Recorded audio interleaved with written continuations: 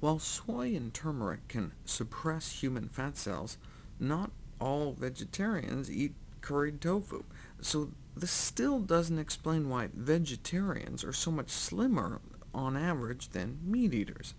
Well, we're getting closer to an answer. The reason I chose to major in biophysics rather than biochemistry is because of diagrams like this.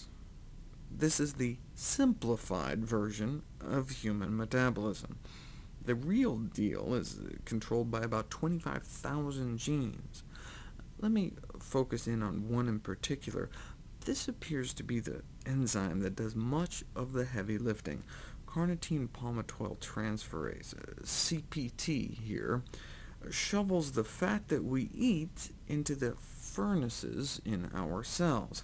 The more active it is, the more fat we burn.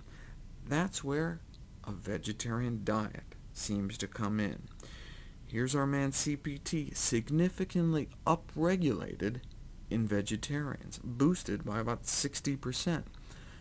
We're not sure why, but that may help explain why, why those eating vegetarian are so slim.